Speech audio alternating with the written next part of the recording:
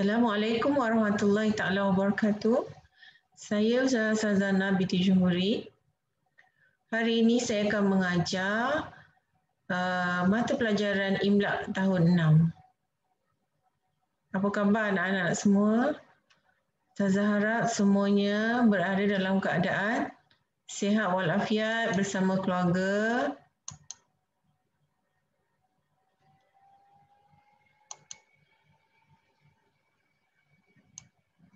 Okey. Hari ini saya nak menerangkan tentang tajuk Imla yang kita akan belajar sepanjang tahun 2001 2021 ini.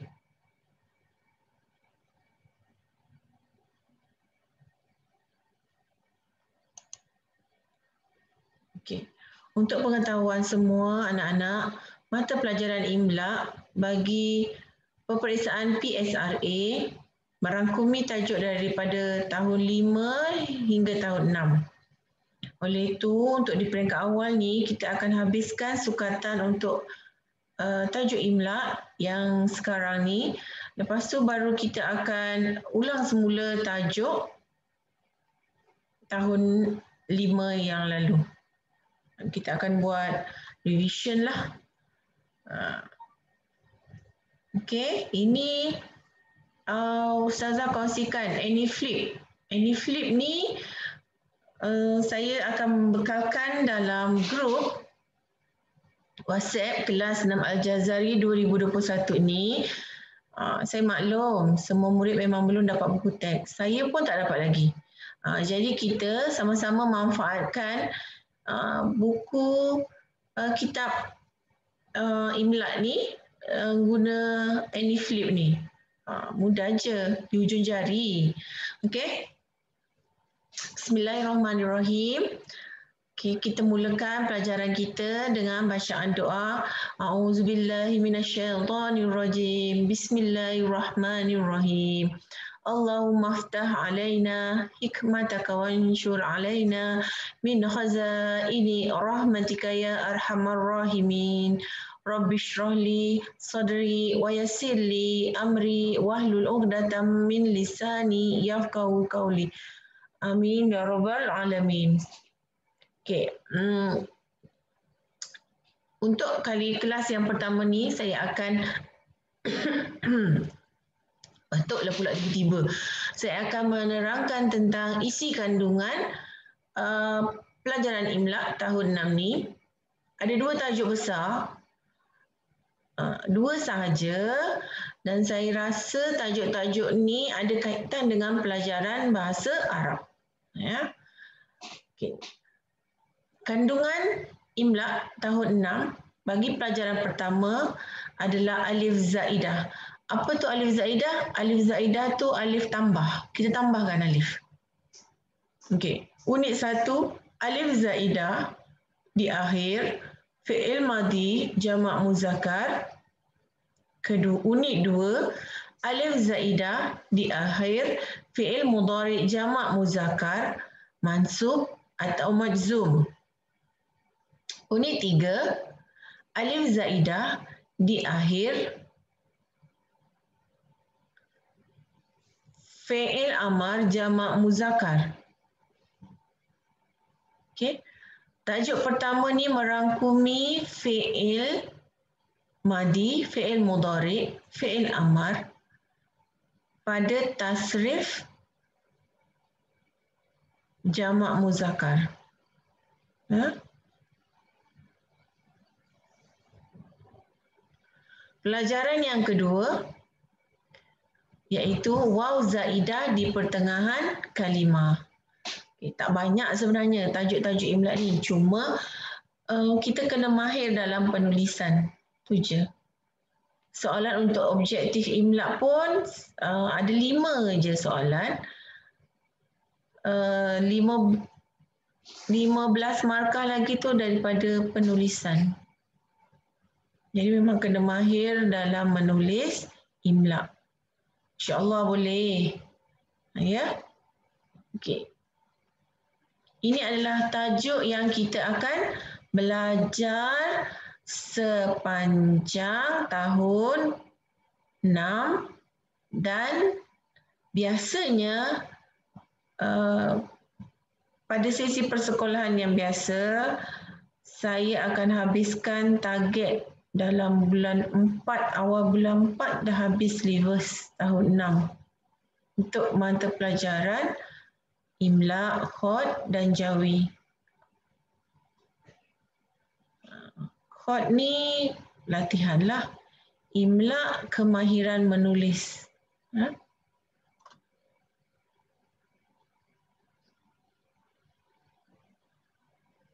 Di samping penggunaan kitab Imla, uh, pada yang dah bayar yuran akan dapat ni Setna 2 siri, siri inovatif Imla. Uh, yang pada yang dah bayar yurannya yang belum oh, saya pun tak pasti macam mana. Tapi tak apa. Hmm, pada setiap kali latihan pada yang belum ada buku kerja ni saya akan sisipkan. Jadi boleh uh, sama-sama buat. Uh, saya akan pasang dekat laptop. Boleh tengoklah kita akan bincang. Insyaallah setiap latihan dalam ni saya akan buat sesi perbincangan. Saya akan bimbing satu-satu. Sebab imlak ni memang perlu ada bimbingan. Bahasa Arab pun perlu ada bimbingan ketika menjawab soalan-soalan di peringkat awal ni. Ya. Kita cuba sebaik-baiknya uh, sambil belajar kita tenang tak nak uh, rushing. Uh, okay. Ini dia. Okey. Untuk hari ini, saya akan masuk sedikit pelajaran pertama Alif Zaidah. Ingat ya, Alif Zaidah tu, Zaid tu tambah plus. Alif tambahan. Kita tambahkan Alif tu. Pada tiga keadaan. Okey. Apa yang apa yang uh, kamu perlu tahu tentang alif zaidah ni, tajuk ni. Okey, di akhir pembelajaran murid dapat membaca kalimah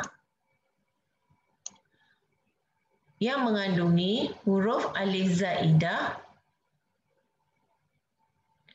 Kedua, menulis kalimah secara imla perkataan yang mengandungi huruf alif zaidah. Ketiga, menyenaraikan kalimah yang mengandungi huruf alif zaidah. Unit satu, alif zaidah di akhir fi'il madi jama' muzakkar. Baca dan fahami alif, huruf alif di akhir kalimah, di akhir perkataan fi'il madi jama' muzakkar dinamakan sebagai alif zaidah. Okey. Kita tengok contohnya. Okey. Perhati dan baca. Kita baca sama-sama. Ini contoh alif zaidah di akhir fi'il madi jama' muzakkar.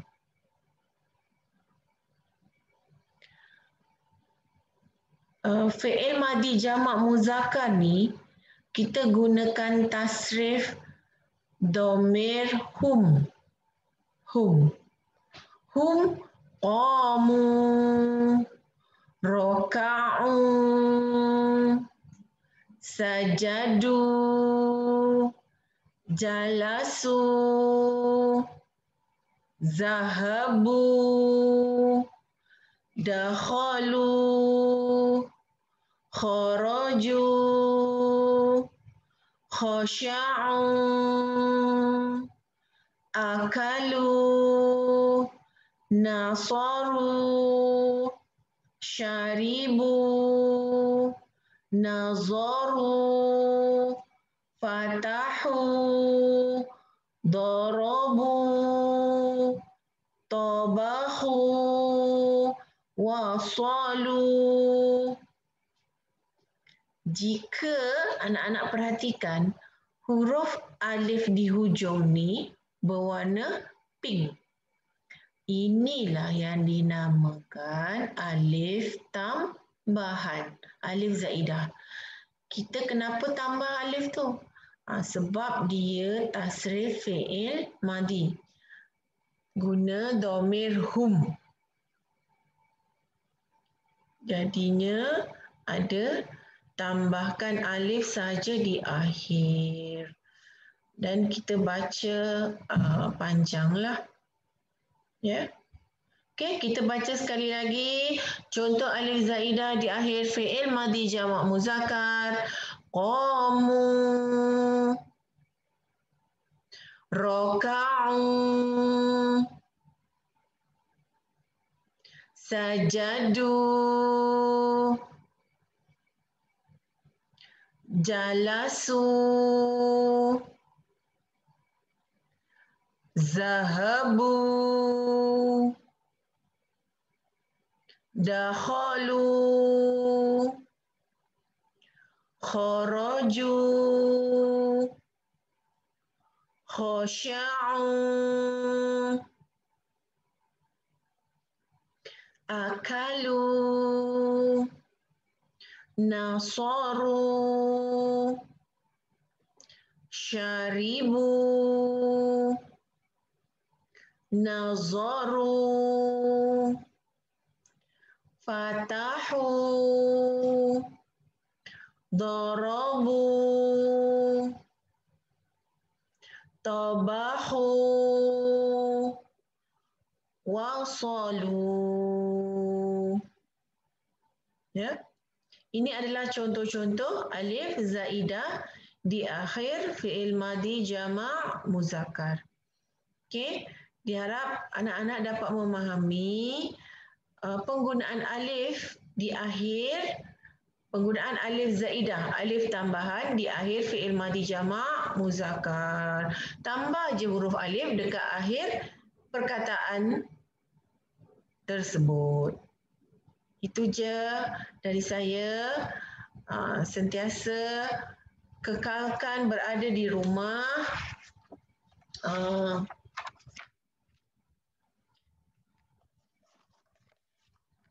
sentiasa berada di rumah, jaga keselamatan diri. Uh, ini saja untuk daripada saya sebagai pengenalan dari bagi tajuk imla kita berjumpa lagi minggu hadapan insyaAllah. Uh, pada minggu hadapan mohon anak-anak uh, bersedia dengan buku tulis. Kalau tak ada buku tulis yang baru, tak apa. Guna sahaja buku tulis imla semasa tahun empat. Sambung aja. Kalau yang dah tak ada buku tulis tu, uh, terpaksalah cari buku tulis yang lama ada rasanya tak habis kan. Okey. Sediakan buku tulis dan pada yang dah bayar, yang dah mendapat buku uh, kerja ni, uh, bawa sekali dalam perjumpaan kita insyaAllah. Uh, mudah-mudahan uh, line internet saya semakin lancar dan mungkin saya akan usahakan datang ke sekolah manalah tahu datang sekolah lain internet laju ya. Apa-apa pun uh, bersedia dan ulang kaji pelajaran. Kalau boleh sebelum sesi pembelajaran anak-anak boleh baca any flip ni. Semua pelajaran ada. Tauhid fiqh ahlak sirah tajwid jawi imla khat semua ada any flip. Jadi kalau boleh sebelum bermula sesi pembelajaran semua mata pelajaran lain ulang kaji dulu dalam keadaan yang uh, seperti ini kena ada usaha ya. Uh, tak ada macam kat sekolah. Okey kena usaha sendiri. Uh, mohon kerjasama ibu ayah uh, pantau sikit. Uh, itu saja dari saya. Moga kita berjumpa lagi insyaallah. Assalamualaikum warahmatullahi taala wabarakatuh. Bye